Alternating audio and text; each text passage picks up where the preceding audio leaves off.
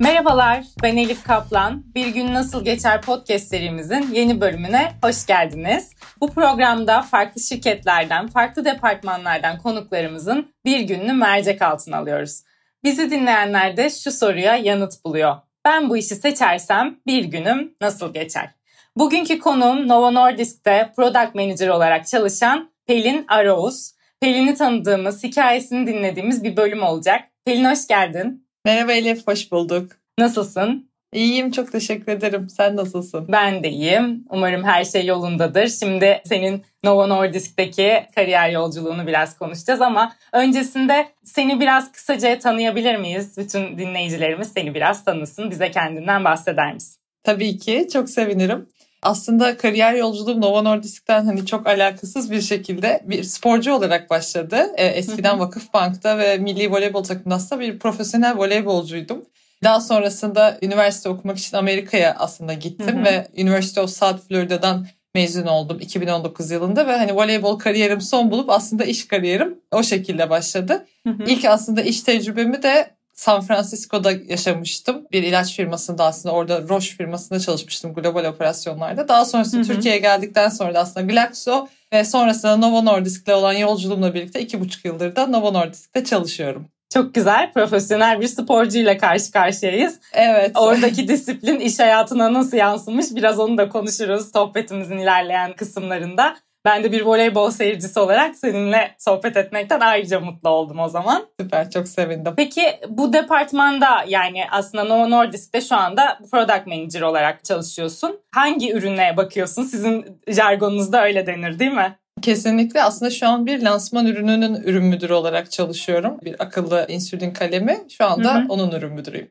Harika. Peki product manager olarak çalışmaya nasıl karar verdin? Yani kariyer yolculuğundan biraz bahsettin sporculuktan nasıl profesyonel hayata geçtiğinle ilgili ama spesifik olarak bu işi yapmaya nasıl karar verdin? Aslında product managerlik pazarlama departmanının içinde. Ben pazarlama alanında çalışıyorum. Birazcık böyle basamaklı bir kariyer yolculuğu oldu. Ekonomi öğrencisiydim. Ekonominin içinde aslında sağlık ekonomisi alanıyla tanıştım. Oradaki bir profesörüm aslında sayesinde sağlık ekonomisi alanında bir araştırma asistanı olarak çalışmaya başladım sağlık ekonomisinden ilaç sektörüyle tanıştım aslında. O ilaç sektörü içinde ilk ilaç tecrübem paylaştığım gibi San Francisco'da hı hı. global operasyonlar tarafındaydı. Aslında yine pazarlama değildi. Onun son adımı olarak ilaç sektörünün içine girdikten sonra aslında biraz global operasyonlardansa daha böyle enerjik bir yapımın olması, işte dışa dönük bir karakterimin olması sebebiyle biraz daha hani business, pazarlama tarafının hı hı. daha uygun olduğunu da hani mentorlarımla da görüşerek bana daha uygun olduğunu karar vermiştik. Aslında birazcık pazarlamaya bu şekilde böyle adım adım geldim diyebilirim. Hı hı. Karakterini birazcık böyle analiz ederek aslında kariyer yolunu bulmuşsun diyebiliriz. Kesinlikle. Peki senin Novo Nordisk'teki sürecin nasıl ilerledi? Yani bugün product manager olarak çalışıyorsun. İlk başlangıcın nasıl oldu? İşe başvurun, sonrasındaki aşamalar ve işe başlaman.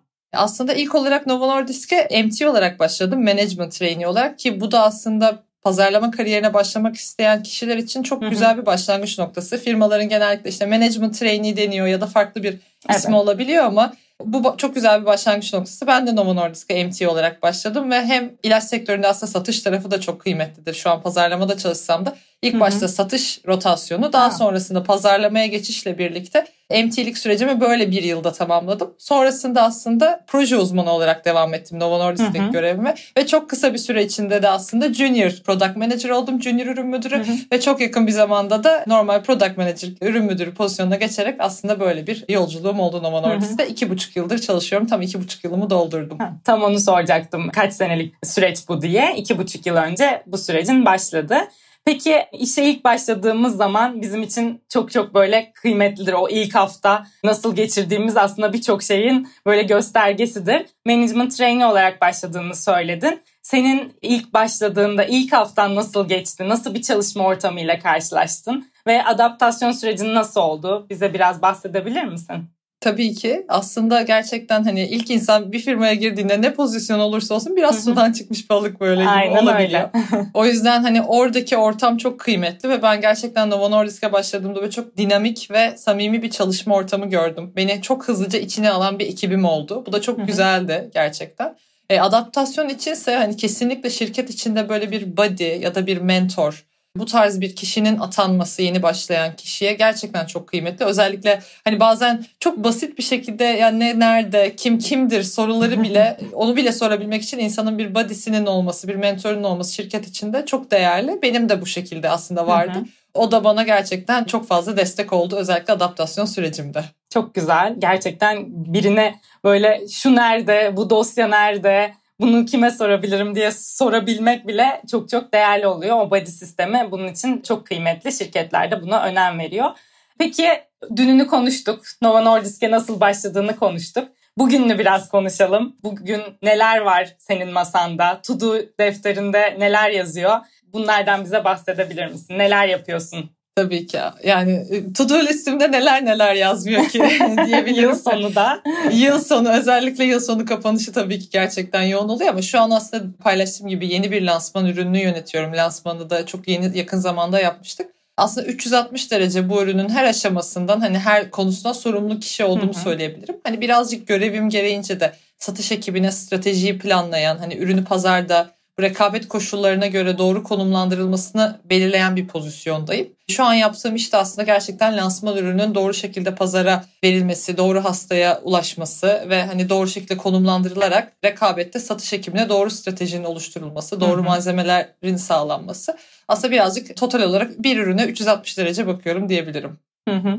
Peki birazcık böyle kişilik özelliklerinden de aslında bahsettin. Yani bu kariyeri seçmede, pazarlama departmanında çalışmada. Bu sorumu biraz hem kişilik özelliklerin hem de böyle biraz daha teknik belki de yeterliliklerle ilgili sormak isterim. Senin çalıştığın bu departmanda ilaç şirketinde pazarlama departmanında çalışmak için hangi yetkinlikler gerekiyor? Hem kişisel anlamda dediğim gibi hem de belki de teknik anlamda.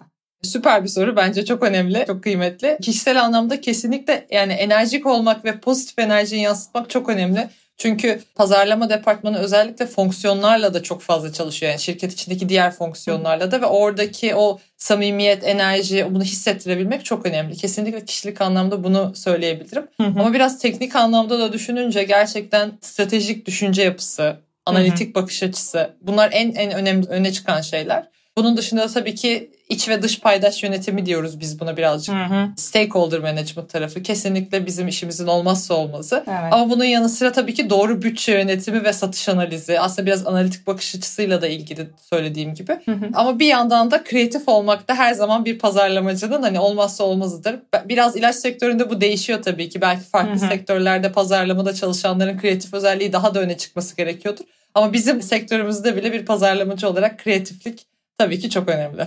Çok güzel. Peki şimdi çok da yeni bir pozisyona başlamışsın. İki buçuk yılında Novo Nordisk'te geride bırakmışsın. Şimdi bundan sonrası için seni nasıl bir kariyer yolu bekliyor? Yani adımlar belli mi yoksa plan yaptın mı? Seni nasıl bir kariyer yolu bekliyor? Aslında ben pazarlama alanında çalışmayı gerçekten çok sevdim hı hı. ve pazarlama alanına dediğim gibi aslında önce global operasyonlarla başlamıştım ilaç sektörüne ve çok sonra hani girdim ve gerçekten böyle çok keyifle çalıştığım bir departman ve bir alan Hı-hı. oldu. O yüzden kesinlikle pazarlamada devam etmek istiyorum. Hani bunu en azından biliyorum. Ama evet. bunun dışında da tabii ki kariyer planlamasında özellikle o yöneticiyle oturup bunu planlamak çok kıymetli. Hani biz de burada işte 6 aylık planlama, 5 yıllık kariyer yolculuğu planlaması bunları yapıyoruz. Ve benim hani şu anda kendimi gördüğüm yer birazcık daha hani özellikle Türkiye'de product manager olarak kariyer hı yolculuğuma pazarlamada devam etmek ama gerçekten o 5 yıllık planda da Türkiye mi olur evet. yoksa yurt dışında mı devam eder? Onu da birazcık aslında zaman ve önüme çıkan şanslar ya da fırsatlar gösterecek diyebilirim. Evet global bir şirkette de çalıştığın için sonuçta bu tür belki fırsatlar da önüne çıkabilir ve belki de sen bunları da değerlendirebilirsin. Kesinlikle. Peki Novo Nordisk'ten biraz bahsedelim. Global büyük bir ilaç şirketi, Türkiye'de önemli bir ilaç şirketi. Nasıl bir şirket? Novo Nordisk'i bize tanımlasan yeni belki kariyerine başlayacak bir kişiye üç kelimeyle anlat desek ya da üç sebep say desek Novo Nordisk'te çalışmak için bunlar neler olurdu? Üç sebep saymak hiç kolay değil ama e, üçe indirgeyebilirim evet kesinlikle. Ben ekibim ve hani yöneticim derdim. Gerçekten o ilk girdiğimdeki samimi ortam ve pozitif enerji beni çok içine aldı. O yüzden kesinlikle ekibim Novo Nordisk'te çalışmak için hani kesinlikle ilk sebeplerimden biridir. Ama onun dışında Novo Nordisk'in ürün portföyü ve 100 yıllık geçmişe sahip bir firma olması. Bu Hı-hı. sene bizim 2023 aslında 100. yılımızı Novo Nordisk olarak da kutlamıştık. Türkiye Cumhuriyeti'nin 100. yılıyla birlikte Novo Nordisk'in de 100. Hı-hı. yılını kutladık. O yüzden o 100 yıllık hani mirasa sahip bir firmada çalışmak da bence gerçekten çok güzel bir duygu. Bunun dışında da aslında tam az önce konuştuğumuz şey global network ve global iş fırsatları. Hı hı. Bu da benim hani farklı firmalarda da görmediğim fırsatlara sahip bir firma olduğunu düşünüyorum Novo Nordisk'in. Hı hı. Peki böyle yeni başlayacak birini nasıl bir ortam karşılıyor orada? Yani böyle eğitim gelişim anlamında da bunu değerlendirirsek sen management trainee olarak başladığında nasıl eğitim gelişim fırsatları sundu sana Novo Nordisk? ve sıfırdan kariyerine başlayacak birini düşün. Novo Nordisk'te kendini nasıl geliştirir? Gerçekten bizim firmamızda online platformlara özellikle çok önem verildiğini hissediyorum. Hani önceliklendirildiğini özellikle bu eğitim fırsatlarında. O yüzden bir kişinin bu online platforma alışması ve adaptasyon sürecinde ilk girdiği zamanda kullanılması çok destekleniyor. Ama bunun dışında tabii ki farklı işte İngilizcesini geliştirmek isteyenler için onu teşvik edip destek olabilecek fırsatlar var. Ya da bunun dışında farklı fırsatlar olabiliyor eğitim ve gelişim anlamında. Ama şirkete ilk giren biri kesinlikle çalıştığı fonksiyonlarla birlikte çok hızlı bir şekilde böyle takımın içine alınıp birlikte çalıştığı için gerçekten çok hızlıca adapte olabiliyor. Keza ben de ilk girdiğimde öyle hissetmiştim. Bu soru birazcık böyle kişiye özel olacak tabii ki. Senin önceki kariyerinle şimdiki kariyerini birazcık böyle kıyaslamanı ve bu kararı nasıl verdiğini açıkçası merak ettim. Ve profesyonel bir sporcu olan birinin profesyonel hayata geçtiğinde bir pazarlama departmanında çalışırken ne tür benzerlikler ve farklılıklar var bize biraz anlatabilir misin? O kısmı gerçekten merak ettim. Kesinlikle insanlar bana bunu çok soruyor. Hani bu bir podcast belki görsel olarak gözükmüyor ama insanlar ilk beni online toplantıdan gerçek yüz yüze gördüğünde aa boyun çok uzun. boyun çok uzunmuş diyebiliyorlar. Hani en böyle öne çıkan özelliğim o olabilir şirketteki ya boyu çok uzun çok şeklinde. Ama kesinlikle hani takım çalışması benim her zaman bir numaralı söylediğim şey. Bana hani geçmiş kariyerimden, hani geçmiş profesyonel sporculuk kariyerimden bu zamanki şu anki profesyonel pazarlama kariyerime aktardığım bir özellik sporculukta da takım çalışması özellikle ben bir takım sporu yaptığım için evet. takım çalışması ve ekip içi uyum gerçekten o takımın birbirini desteklemesi çok kıymetli bir şeydi. Şu anda Hı-hı. da aynı şekilde hani bizim yaptığımız işte de profesyonel bir ekiple çalışıyorum. Tabii ki medikal ekip bir yanda, cross functional ekiple çalıştığımız kişiler bir yanda. Hı-hı. Bütün ekibin hani ekip uyumu içerisinde çalışması ve takım çalışmasının gerçekten ne kadar önemli olduğunu yaptığımız her işte görüyoruz. O yüzden kesinlikle takım çalışması benim voleybolculuk kariyerimden gelen bir özelliğim. Burada da bunu yansıtmaya çalışıyorum. Süper. Peki böyle şirketlerin bir takım iş dışı kulüpleri olabilir ya da işte sosyal faaliyetleri olabilir. Novo Nordisk'te bu tür imkanlar var mı ve sen profesyonel voleybolculuk kariyerini Novo Nordisk'te de devam ettirebiliyor musun? ya da bunun için Kulüpler... fırsatlar var mı? Kulüpler yok aslında. Daha önce sanırım denemişler sakatlanan kişiler olmuş. Bundan sonra vazgeçmişler diye duydum ben e, şirkete girmeden önce. Ama sosyal fırsatlar anlamında özellikle hani bu 100. yıl çerçevesinde böyle gönüllülük esasına dayalı sosyal aktiviteler olmuştu. Oralara dahil olmuştu. Biraz spor ve bu tip sosyal kulüplerden farklı ama hani bu böyle bir şeylere dahil olmuştum. Ama şu anda sporla ilgili hı hı. kulüp vesaire öyle bir şeyimiz bulunmuyor. Anladım tamamdır. Senin dününü konuştuk. Bugün masanda neler olduğunu konuştuk ve ileride senin Nova Nordisk'te nasıl fırsatların beklediğini, nasıl bir kariyer yolculuğunun beklediğini de konuştuk. Peki hep iş gününü sormayalım. Bir de pazar gününü soralım sana. İş dışında kalan zamanında neler yapıyorsun? Hep iş gününü soruyoruz dediğim gibi pazar günü nasıl geçiyor?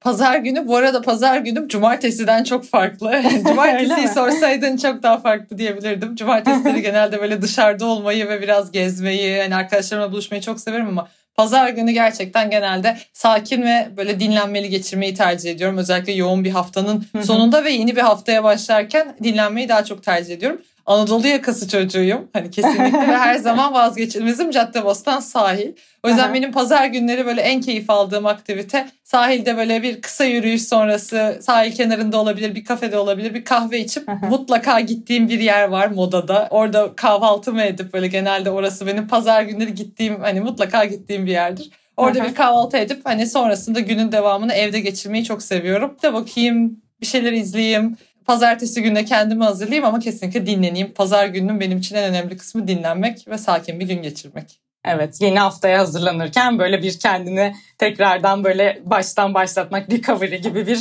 e, pazar günü hayal ettim ben.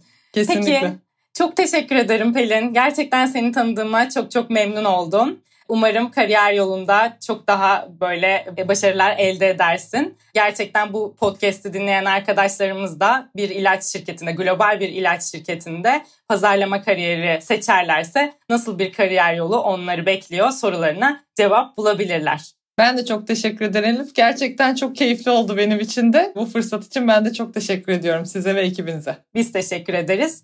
Evet bir bölümümüzün daha sonuna geldik. Yeni bölümlerde farklı şirketlerden, farklı departmanlardan konuklarımızın bir günlerini konuşmaya devam edeceğiz. Bir sonraki bölümde görüşmek üzere. Hoşçakalın.